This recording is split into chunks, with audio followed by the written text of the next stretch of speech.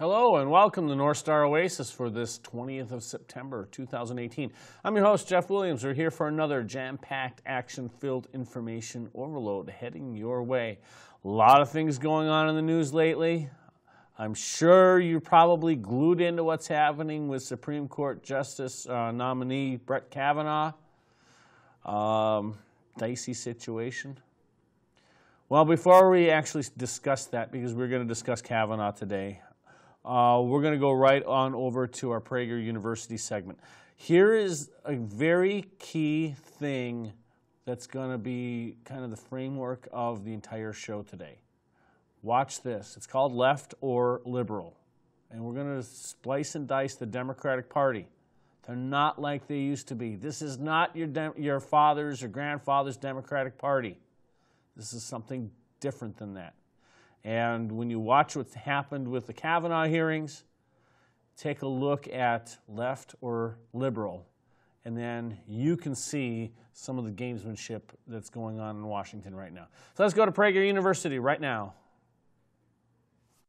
What's the difference between a liberal and a leftist?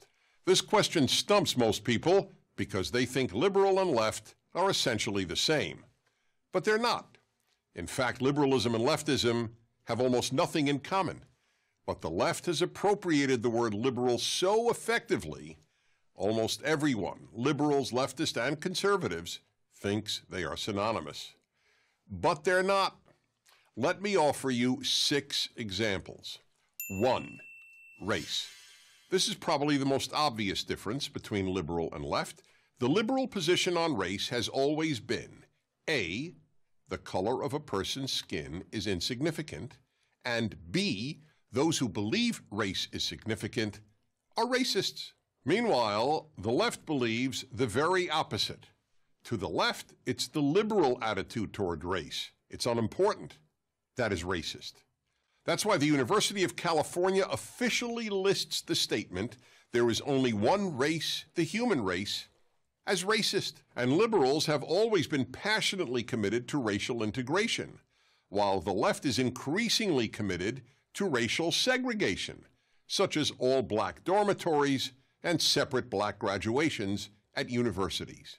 Two, capitalism. Liberals have always been pro capitalism because liberals are committed to free enterprise and because they know capitalism is the only way to lift great numbers of people out of poverty. It is true that liberals want government to play a bigger role in the economy than conservatives do. But liberals never opposed capitalism, and they were never for socialism. Opposition to capitalism and advocacy of socialism are left wing values. Three, nationalism. Liberals believe in the nation state, whether that nation is the United States, Brazil, or France. But because the left divides the world by class rather than by national identity, the left has always opposed nationalism. So, while liberals have always wanted to protect American sovereignty and borders, the left is for open borders. When the writers of Superman were liberals, Superman was a proud American whose very motto was truth, justice, and the American way. But that all changed a few years ago when left wing writers took over the comic strip and had Superman renounce his American citizenship to be a citizen of the world. The left has contempt for nationalism, seeing it as the road to fascism. Better that we should all be citizens of the world in a world without borders. 4. View of America. Liberals have always venerated America Watch American films from the 1930s through the 1950s, and you will be watching overtly patriotic, America celebrating films, virtually all produced, directed, and acted by liberals. Liberals were quite aware of America's imperfections, but they agreed with Abraham Lincoln that America is the last best hope of Earth. The left, however, believes the left is the last best hope of Earth and regards America as racist, sexist, homophobic, xenophobic, violent, and imperialistic. 5. Free speech. No one has been more committed than American liberals to the famous statement I wholly disapprove of what you say, but I will defend to the death your right to say it. But the left is leading the first widespread suppression of free speech in modern American history, from the universities to the tech companies that govern the internet to almost every other institution and place of work. Of course, the left claims to only oppose hate speech. But putting aside the fact that the left deems hate speech anything it differs with, protecting what you or I might consider hate speech is the entire point of free speech. Six, Western civilization. Liberals have always championed and sought to protect Western civilization. Liberals celebrate the West's unique moral, philosophical, artistic, musical, and literary achievements and have taught them at virtually every university. The most revered liberal in American political history, President Franklin Roosevelt, often cited the need to protect Western civilization and even Christian civilization. Yet when President Donald Trump spoke of the need to protect Western civilization in a speech in Warsaw, the left wing media, also known as the mainstream media, denounced him. They argue that Western civilization is no better than any other and that Western civilization is just a euphemism for white supremacy. So then, if liberalism and leftism are so different, why don't liberals oppose the left? In a nutshell, because they have been taught all their lives to fear the right. But as one of the best known liberals in America, Harvard Law School professor Alan Dershowitz said, as a liberal, as an American, and as a Jew, I far more fear the left than the right. Dear liberals, conservatives are not your enemy. The left is. I'm Dennis Prager. To help keep these videos that is what we're dealing with with today's modern Democratic Party. I look back at some of the older Minnesota Democrat members of Congress. I was actually thinking about them last night. Martin Olaf Sabo, Bruce Vento, um, trying to remember here. Um, Jim Oberstar, even. These guys were not your far left extremists. These are still very much left of center, but very pragmatic people. They still had the best interests of Minnesota and the best interests of America at heart. They went to Washington to serve not themselves necessarily, even though just by serving for 30 something years, they serve themselves in that capacity. Republicans have done that too. But they still had the best interest of America at heart. They may have differed from Republicans on policy matters, but they weren't opposed to making friends with the Republicans. They didn't feel the need to exclude and isolate them from everything. They worked together on Capitol Hill. When you look at their replacements, Keith Ellison, Betty McCollum, Rick Nolan, he's still one of the older guard, even though he's trying to kind of morph into the left. You know, it's a dying breed. Look at the last presidential race with Jim Webb. Jim Webb ran as a Democrat. He was a Democrat U.S. Senator and he was shunned because he actually embraced some of the ideals of the right. Not true, not so with the current generation of Democrat leaders and Democrats, you know, members of Congress, House and Senate. Tina Smith is far left. Amy Klobuchar is actually far left, even though she is a very conservative person when it comes to protecting her image for making certain statements and certain stands. But when you look at her voting record, she votes right there with Chuck Schumer and really does whatever Chuck Schumer tells her to do. She endorses Keith Ellison. Now, she'll come in and talk against Judge Kavanaugh, but she'll embrace Keith Ellison. That brings me into the heart of today's discussion because we've had Supreme Court nominee Judge uh, Brett Kavanaugh. His confirmation hearing started uh, earlier in the month. We're not going to actually show you a lot about what happened as far as this Q&A is concerned. Q&A that happens with everybody. The judges pretty much don't really tell you anything. Senators, most of them pontificate on their own pet things anyway. Most of the people have already made up their mind before they even walked into the halls of Congress for the hearing. But what we're going to show you is the circus that this became. We're going to show you, starting right now, the introductory gavel and how Chairman Chuck Grassley couldn't even utter his first full paragraph before the Democrats, the far left Democrats, became obstructionists. Let's go to the video. Good morning.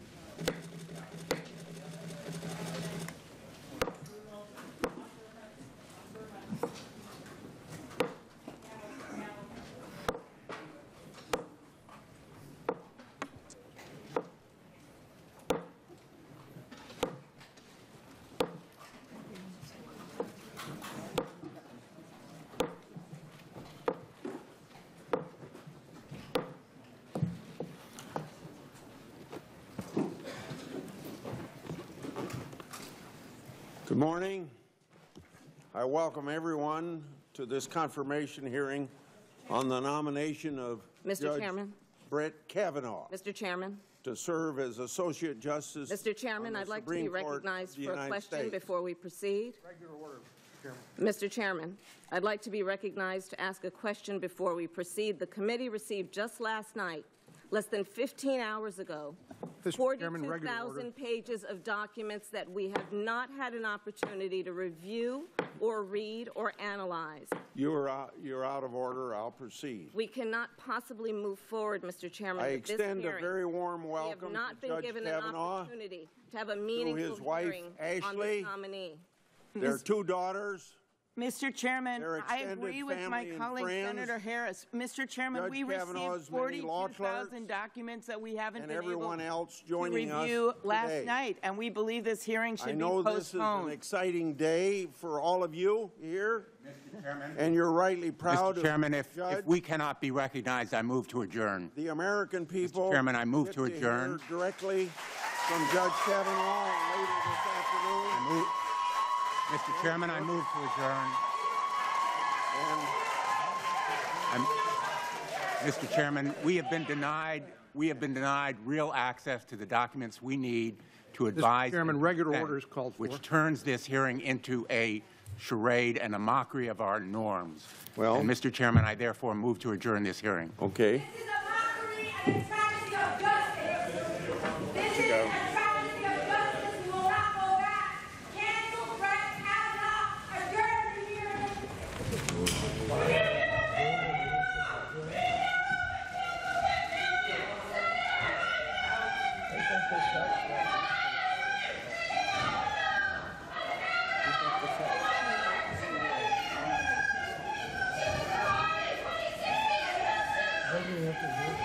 Chuck? Chuck, Command order. Chuck. There's a motion to adjourn, but I've been voted. We're not in executive session. Mr. Chairman, I, I ask for a roll call vote on my motion to adjourn.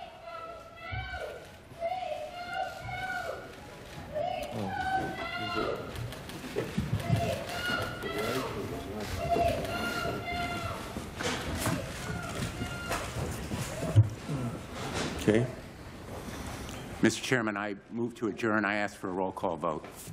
Uh, We're not in executive session. We will continue as planned. Um, Mr. Chairman, may I be recognized, sir? Mr. Uh, Chairman, I appeal to the chair to recognize myself or one of my colleagues.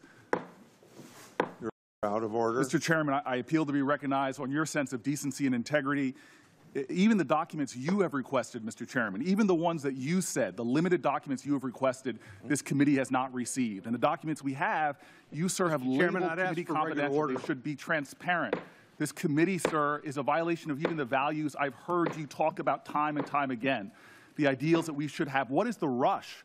What, what are we trying to hide by not having the documents out front? What is with the rush? What are we hiding by not letting those documents come out? Sir, this committee is a violation of the values that we as a committee have striven for, transparency. We are rushing through this process in a way that is unnecessary. And I, I appeal for the motion to at least be voted on. Mr. Chairman. At least let's have a vote, because when we wrote you a letter on August 24th Senator. asking to, to have a meeting on this issue, you denied us even the right to meet. So here we are having a meeting. Let's at least debate this issue. Let's at least call this for a vote.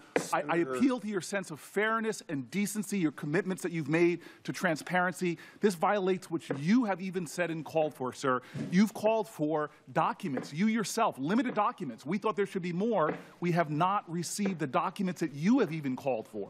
So, sir, based upon your own principles, your own values, I call for at least to have a, a debate or a vote on these issues and not for us to rush through this process. Mr. Mr. Chairman, Senator- Mr. Chairman, I've heard calls for I'd like to regular respond, order. I'd, I'd like to respond to Senator Booker. Senator Booker, I think that, uh, I respect very much a lot of things you, you, uh, you do, but you spoke about my decency and my, and you spoke about my decency and integrity, and I think you're uh, you are taking advantage of my decency and integrity. So.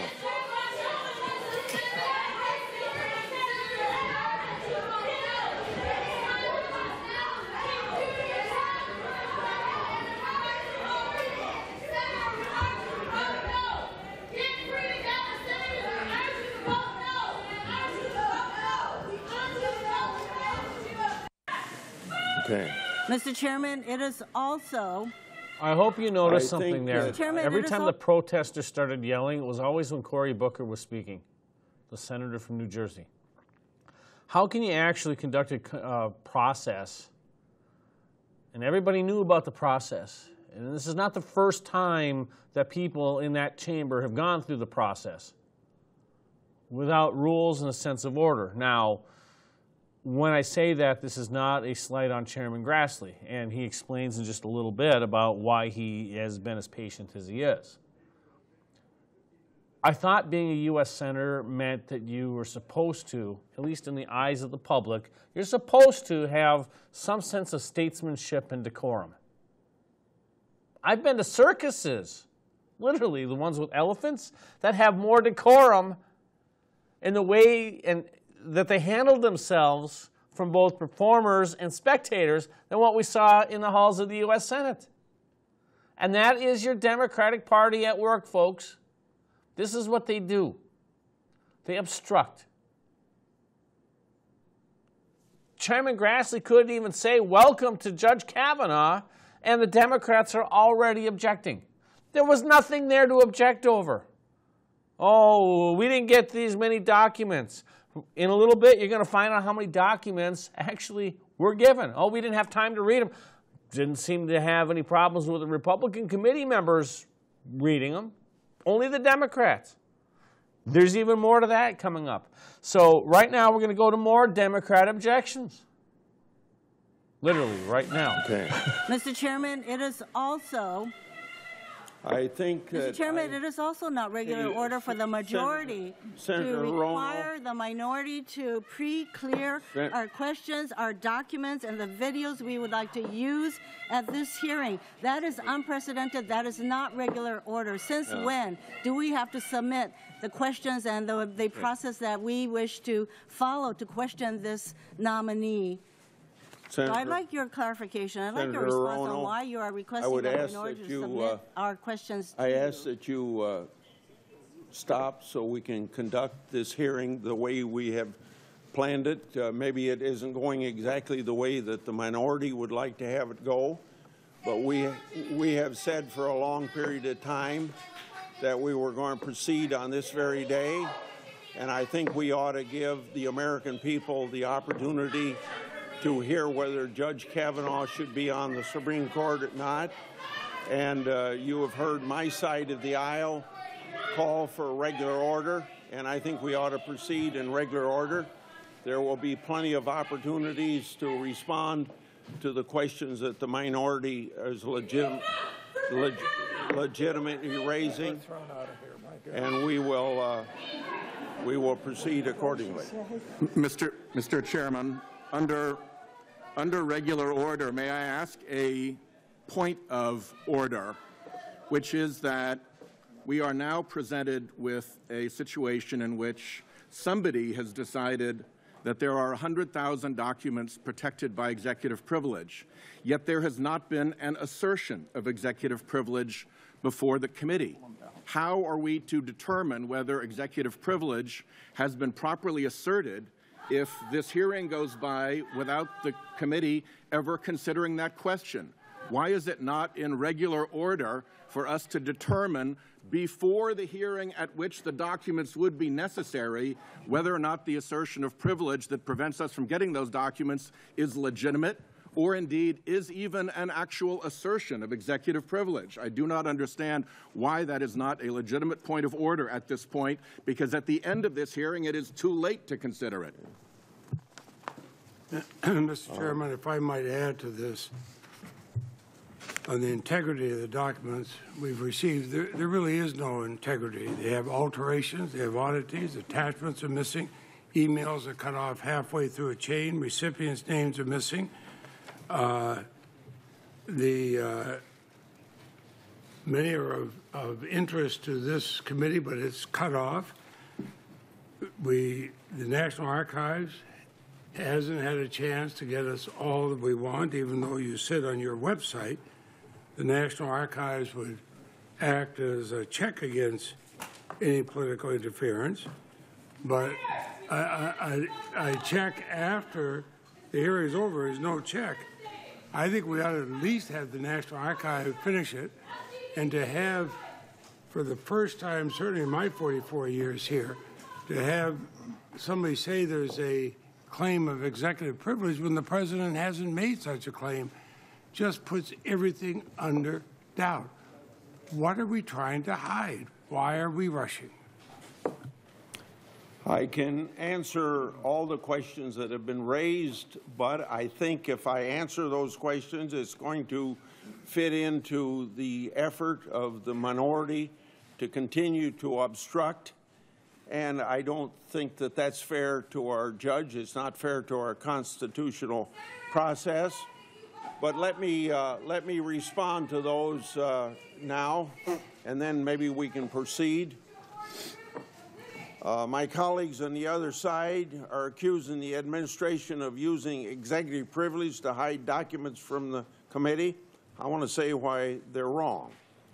Uh, unlike President Obama's assertion of executive privilege during Fast and Furious is one example, this assertion is not legitimate. Judge Kavanaugh was a senior lawyer in the White House. He advised the president on judicial nominations, provided legal advice on separation of powers issues, and handled litigation matters. As the, as the Supreme Court has put it, quote, unless the president can give his advisors some assurance of confidentiality, a president could not expect to receive the full and frank submissions of facts and opinions upon which the effective discharge of his duties depends. End of quote. The issues Judge Kavanaugh worked on are exactly the sort of issues that require, according to the Supreme Court, some assurance of confidentiality. We in the Senate and everyone else in America expect exactly the same sort of confidentiality. Most senators would not agree to turn over their staff's communication to anyone. For example, we didn't ask that Judge Kagan's records for her service with then Senator Biden be turned over during her nomination. And because of attorney-client privilege, everybody has a right to keep communications from their lawyers out of government hands.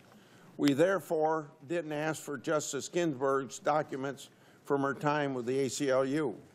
We didn't ask for Judge Sotomayor, Sotomayor's uh, confidential documents from her time in private practice.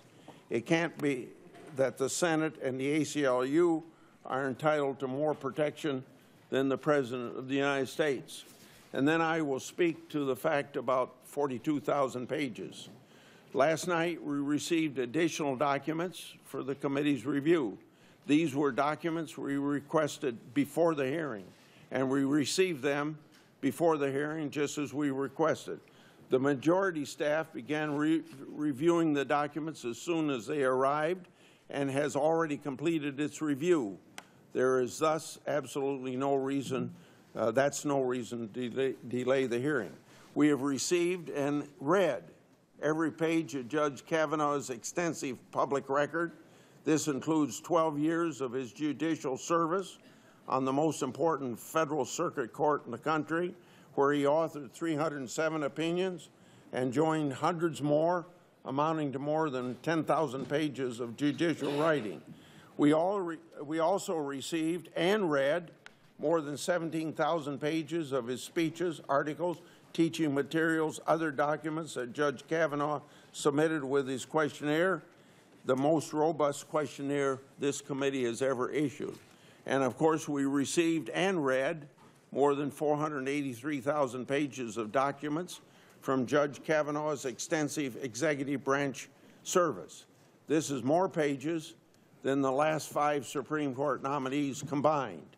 In short, this committee has more materials for Judge Kavanaugh's nomination than we have had on any Supreme Court nominee in history.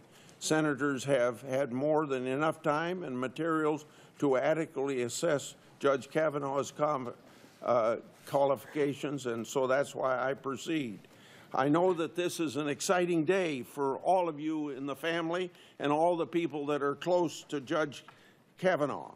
And you're rightly proud of the judge. The American people get to hear directly from Judge Kavanaugh later this afternoon. After this confirmation hearing and process is finished, I expect Judge Kavanaugh will become the next Associate Justice of the Supreme Court. Welcome again, Judge. Before I begin, I would uh, want to give you, Judge, an opportunity to introduce your family.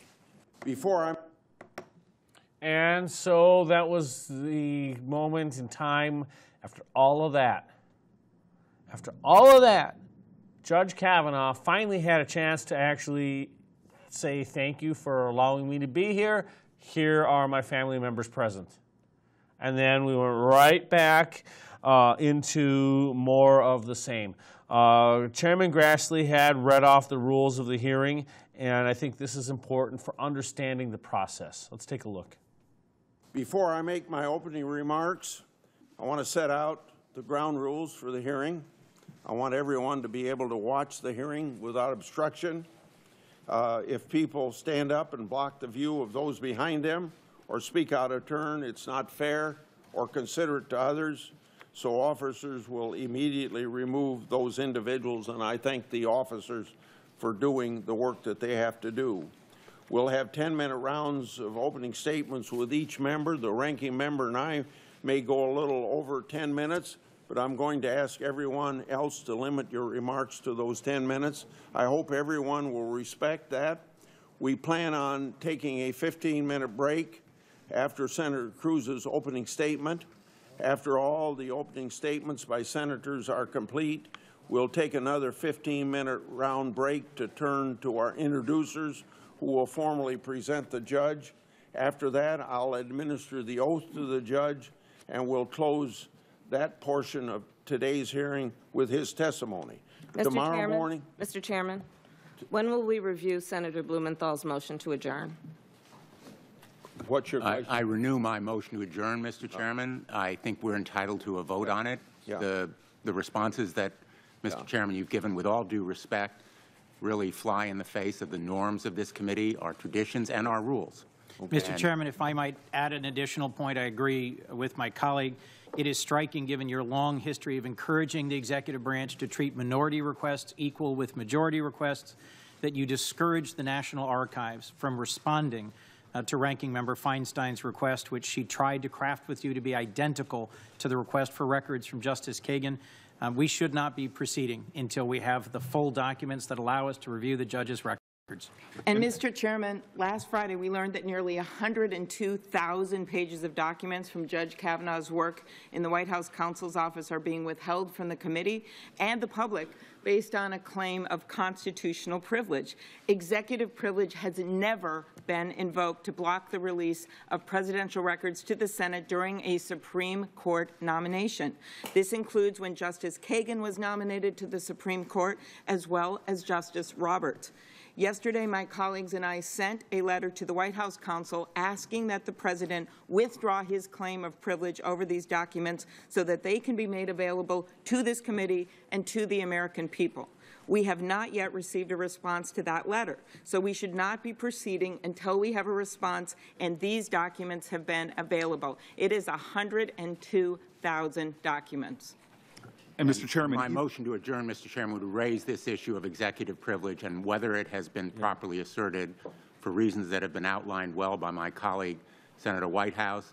There is no valid claim here of executive privilege. Even if there were one, it has not been properly asserted. The question is, what is the administration afraid of showing the American people? What is it trying to hide? And Mr. Chairman, using your own words in the statement you just read, uh, you said, I quote, we've had more than enough time to review the documents. Sir, we just got a document dump last night of over 40,000 pages. I would venture to say not one senator here has had time to read through those 40,000 pages. And so we are continuing to rush through this process, a process that deserves to be scrutinized. I support Senator Blumenthal's motion for, to adjourn, and I hope that we could at least uh, have a vote on that motion. Mr. Chairman, I think you'd be hard-pressed to find a court in the country that would not give a party litigant a continuance when the party on the other side did a 42,000-page document dump after close of business the night before trial. Mr. Chairman, we waited for more than a year with a vacancy on the Supreme Court under the direction of your leader in the United States Senate, and the Republic survived. I think the treatment was shabby of Merrick Garland and President Obama's nominee.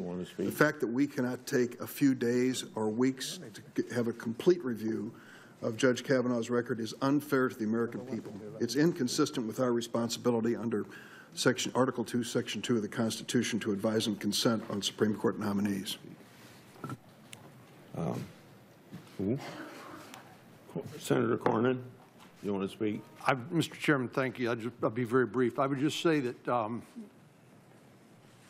Senator Whitehouse has suggested that we handle this hearing like a court of law.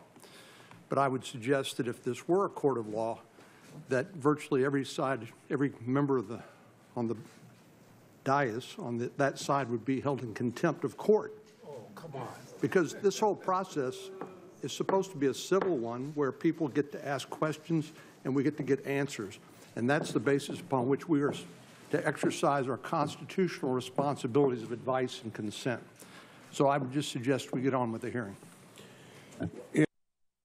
Cornyn is absolutely right. This is supposed to be a civil process. But there's no civility when it comes to the left wing Democrats. I don't see liberal Democrats, I see that far progressive left element. We're going to obstruct, obstruct, obstruct, obstruct. We're going to make a complete circus out of this hearing. We're going to have our friendly protesters in the back completely, you know, scream and yell and try to shut down the process. What good is that? The only thing that that does is it just serves to upset people. It really does. Just like the anti war protesters who shut down roads, uh, like when we uh, had the war in Iraq, didn't stop the war in Iraq, just inconvenienced a lot of people. Or the Black, Lives Matter protests shutting down freeways so the people that might actually be sympathetic to their cause can't go to wherever they need to go. Protests like this only seem to turn rational people away from the cause. And they don't get that. They just don't. Perhaps if the Democrats actually did a cost benefit analysis, they would realize that what they're doing is costing them seats. It's costing them power. The more they obstruct, the more upset the American people get. Because what do the people want? The people actually want unity. They don't necessarily mean that they've got to get along, but they want to see that the process works. And if the process is broken, they get very upset. Voters do take backlashes at the polls. They do. Happens all the time. There is no civility here, and that's what's missing. So now we have another exchange from Chairman Grassley and Senator Booker. If uh, my colleagues... Mr. Chairman, if I could just respond. If my- Mr. Chairman, if I could just respond. Chairman. If we could just would- respond to that. I would... Sir. You can, you can respond, but just a minute. If people wonder why the chair is so patient during this whole process, I have found that it takes longer to argue why you shouldn't do anything than let people argue why they want it. These things are going to be said throughout this hearing. We're going to be in session Tuesday, Wednesday, Thursday, Friday, Saturday, Sunday, till we get done this week. So however long people want to take, we're going to uh, not necessarily accommodate all obstruction, but if people got something to say, this chairman's going to let them say it. But it- gets pretty boring to hear the same thing all the time. Senator Booker, make it quick, please. I really appreciate uh, the the deference, uh, Mr. Chairman. Uh, The question was why would we want to delay this? And this is not an attempt to delay. Uh, This is an attempt to be fully equipped to do our constitutional duty, which everybody, Republicans and Democrats on this committee, take seriously. It it is very hard to perform our role of advise and consent when we do not have a thorough vetting of the background of the candidate in areas which he, the candidate himself has referred to as the most formative part of his legal career, where he himself has talked about how important this period of his life is.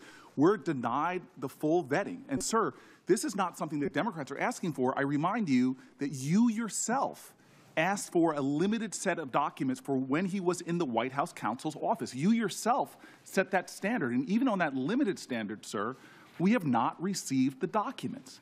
And then even the documents, we've received 7% of them. Almost half of those have been labeled committee confidential that cannot put, be put before the American people, which further undermine and inhibit our ability to ask questions to thoroughly vet this candidate and advise and consent the President of the United States. So, sir, just on the, on the basic ideals of fairness, the traditions of this body, we should have a thorough understanding of the nominee that's put before us Let me answer so that we can vet them. To go into this hearing without those documents is an undermining of the constitutional role to which we have all sworn an oath to upheld, uphold. Mr. Chairman, I have great respect for my colleague from Texas. I would like to respond to Senator Booker, and then Senator Feinstein has asked for the floor. I'd like to, I'd Mr. like to. Uh, Chairman, I asked to I'd respond to like my respond colleague to from Senator Booker. Texas. Mr. Chairman. Uh, Senator Booker, using a standard set by two members of your political party in the caucus, and I'm going to phrase because I don't have the exact quotes in front of me, but recently Senator Schumer said from the floor, the best uh, judge of whether or not somebody should be on the Supreme Court is decisions that they've made at lower courts. Senator uh, Leahy said something similar to that when Senator Sotomayor was before us, that uh, we know how, we know how many uh, we know what you have done in a lower court. That's the best basis for knowing whether or not you ought to be on the Supreme Court. So we have 307 cases that this nominee has written decisions on as a basis for that. And, uh, and uh, we've, we've got 488,000 other pages. And maybe the senators haven't read them, but their staff is fully informed because last night, before 11 o'clock, on the 42,000 pages that have come to our attention, the staff on the Republican side has gone through them. But, sir, then why did you ask for the White House counsel documents? If they were not germane to this hearing. Why would you even ask for them? Senator Feinstein. And so there you have it. More, more fireworks. Notice that the one person we haven't heard anything from was Judge Kavanaugh. This process went on for over an hour. As a matter of fact, uh, it went on for one hour and 38 minutes. And the only thing we ever heard from Judge Kavanaugh himself was, Hi, thank you for inviting me here, and here's my family. I didn't even play that clip simply because it was not germane. It's pretty sad, isn't it? Now, granted that, according to the rules set by the chairman, that every member of the Senate committee had 10 minutes to expand upon their opening remarks. So that's fine. Do you know when we got to opening remarks? 90 minutes into the process. It took 90 minutes before we heard uh, Chairman Grassley's statement, we heard Dianne Feinstein's statement. 90 minutes before we got to that point. A little ridiculous, don't you think? Well, here's another uh, quick exchange between uh, Senator John Kennedy, the Republican from Louisiana, asking the chairman a question. Mr. Chairman. Senator Kennedy. Thank you, Mr. Chairman. I, I'm, I have a question about the process. I understand my colleague's point, and I understand they feel strongly about this. But what are going to be the ground rules today? Are we going to be allowed to interrupt each other? Interrupt a witness? Are we going to, should we seek recognition from the chair? I just want to understand the ground rules. Proper, proper respect and decorum, plus how we normally have done business in a hearing like this. We wouldn't be having all these motions. You're new to the Senate, so this is something I've never gone through before in 15 Supreme Court nominations that I have been since I've been on here.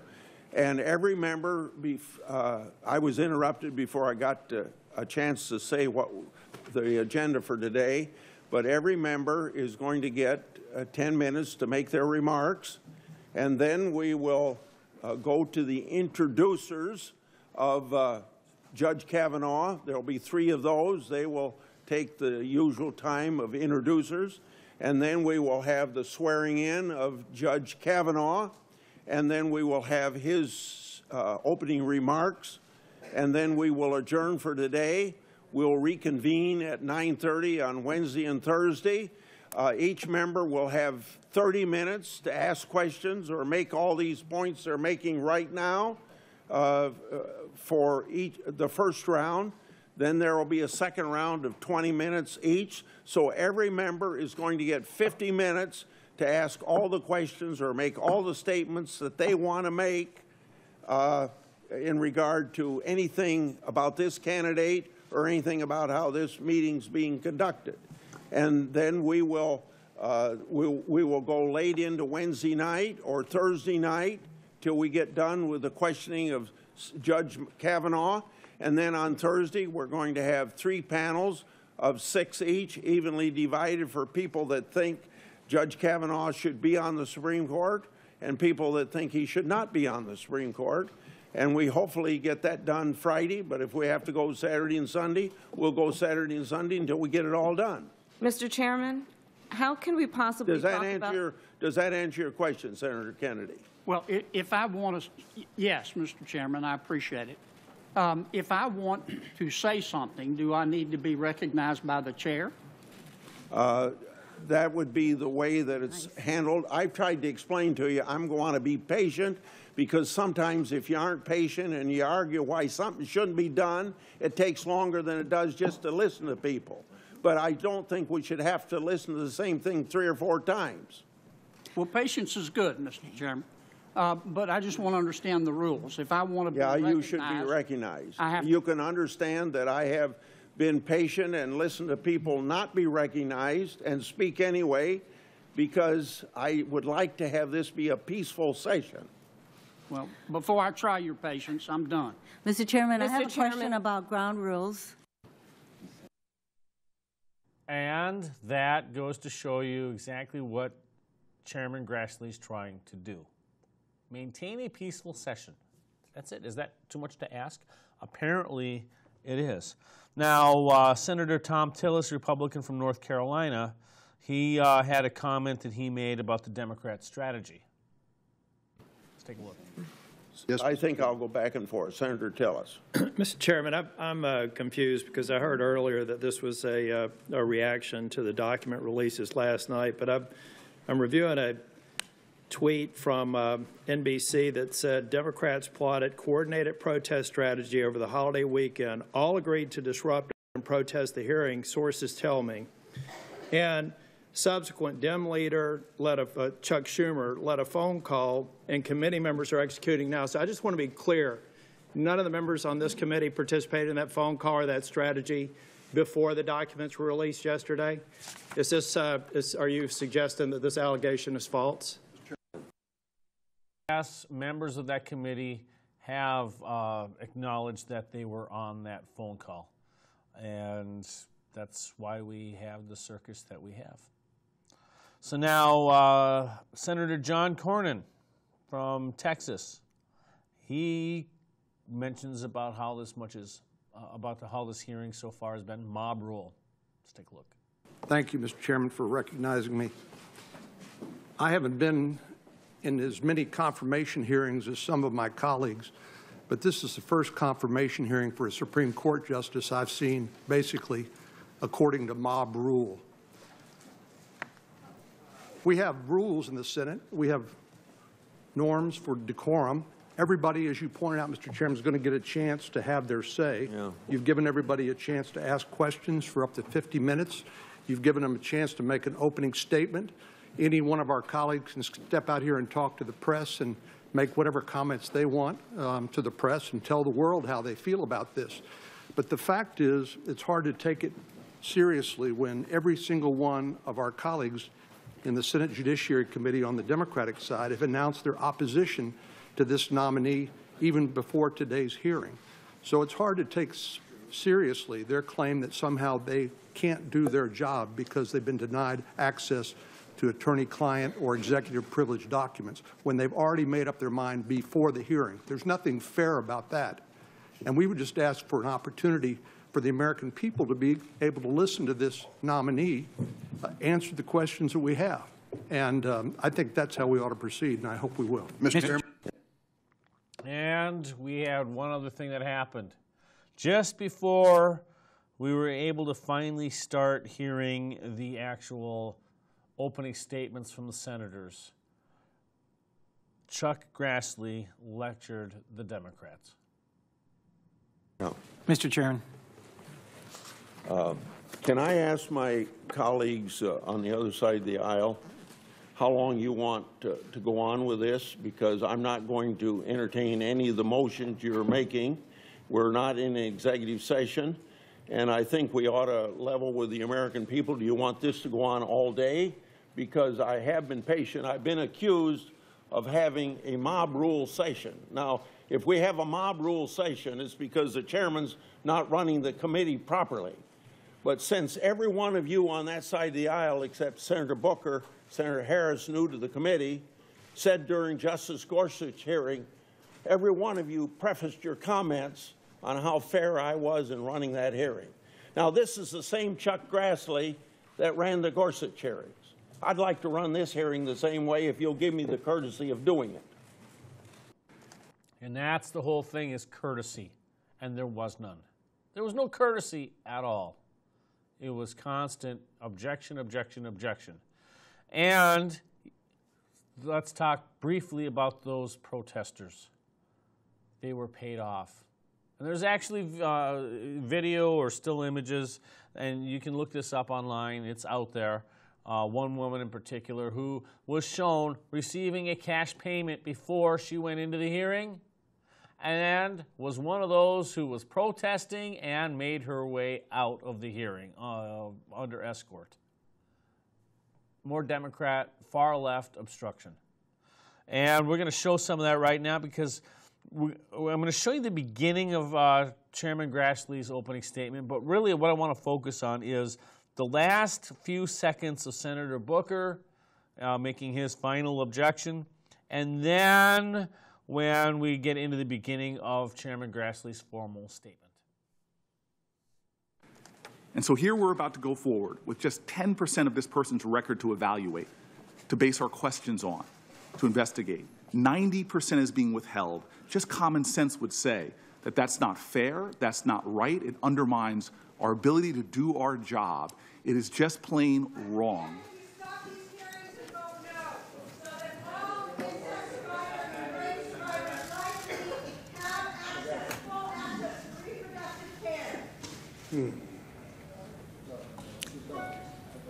One of the Senate's most solemn constitutional duties is to provide advice and consent to the President on the nomination of Supreme Court justices. We're here this week to hear from Brett Kavanaugh, to hear about his exceptional qualifications, his record of dedication to the rule of law, and his demonstrated independence and his appreciation of the importance of the separation of powers. Indeed, to protect individual liberty, the framers designed a government of three co-equal branches, strictly separating legislative, executive, and judicial powers. The framers intended for the judiciary to be immune from the political pressures the other two face. That is, so that judges would decide cases according to the law and not according to, to uh, popular opinion. Now, 230 years after ratification, our legal system is the envy of the world. It provides our people stability, predictability, protection of our rights, and equal access to justice. But this is only possible when judges are committed to the rule of law. Our legal system's success is built on judges accepting that their role is limited to deciding cases and controversies. A good judge exercises humility and makes decisions according to specific facts of the case and, of course, according to the law.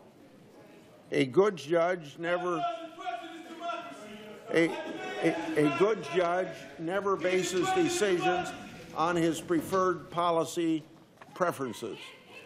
A, a good judge also has courage, recognizing that we have an independent judiciary to restrain judges when that government exceeds lawful authority. President Andrew Jackson said, quote, all the rights secured to the citizens under the Constitution are worth nothing and a mere bubble except guaranteed to them by an independent and virtuous judiciary, end of quote. Confirmation hearings for Supreme Court nominees are an independent. So Chairman Grassley was finally able to get into his statement. But this, do you, just from hearing these screams, do you have a headache yet? This went on for an hour and a half. The thing is, that was just the first hour and a half. It didn't stop. This, folks, is the last gasp desperation from your progressive far left. They know what's coming. They can't stand it, they can't stop it, and they know that. That's why you have the obstruction. The fact is, these people are not your friends, and they don't represent you. They represent themselves, and they represent the socialist communist agenda. Now, when they couldn't actually stop the hearing, what happened? The hearing continued. We had the Q&A exchange. We had all the senator statements. And then, lo and behold, we had a sexual harassment bombshell for an incident that happened 36 years before with an accuser who can't remember exactly whether or not it was even Kavanaugh to begin with, and goes to a Democrat senator on July 30th, and then conveniently, middle of September, this gets up there. But it's a, a serious issue, and it is a serious issue. But it's not serious enough to bring it up in July 30th. You have to wait six weeks? Calls for oh, all to testify after an FBI investigation? Excuse me, what is this? Kavanaugh has been um, vetted by the FBI six times? It never showed up on an investigation, a background check. This is another 11th hour left wing attack to try to stop and delay the Kavanaugh hearings. And frankly, I don't think it's going to work. This kind of reminds me of something that happened in 1991. And let's hear from a Supreme Court nominee who had the exact same thing happen to him 27 years ago. Senator, I would like to start by saying unequivocally, uncategorically, that I deny each and every single allegation against me today that suggested in any way that I had conversations of a sexual nature or about pornographic material with Anita Hill, that I ever attempted to date her, that I ever had any personal sexual interest in her, or that I in any way ever harassed her. A second, and I think more important point, I think that this today is a travesty. I think that it is disgusting. I think that this hearing should never occur in America. This is a case in which this sleaze, this dirt, was searched for by staffers of members of this committee, was then leaked to the media, and this committee and this body validated it and displayed it at prime time over our entire nation. How would any member on this committee, any person in this room, or any person in this country would like sleaze said about him or her in this fashion, or this dirt dredged up, and this gossip and these lies displayed in this manner? How would any person like it? The Supreme Court is not worth it. No job is worth it. I'm not here for that. I'm here for my name, my family, my life, and my integrity. I think something is dreadfully wrong with this country when any person, any person in this free country would be subjected to this. This is not a closed room. There was an FBI investigation. This is not an opportunity to talk about difficult matters privately or in a closed environment. This is a circus. It's a national disgrace.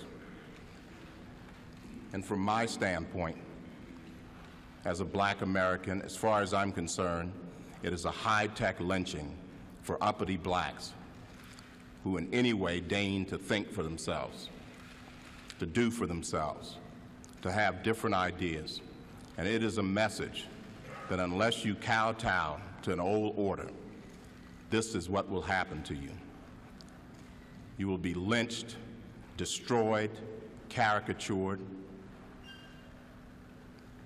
by a committee of the U.S. U.S. Senate rather than hung from a tree. And that's exactly what the far left is trying to do now. They went back and dusted off the 1991 playbook, and here we are. They're giving it to Judge Kavanaugh. We'll see what happens. I think Kavanaugh will get confirmed, but if he doesn't, Amy Comey, uh, Coney Barrett is probably going to be replacing him. Uh, anyhow, that's our show for now. For Dallas Pearson, producer, I'm your host, Jeff Williams. Thanks for watching. We'll see you next week.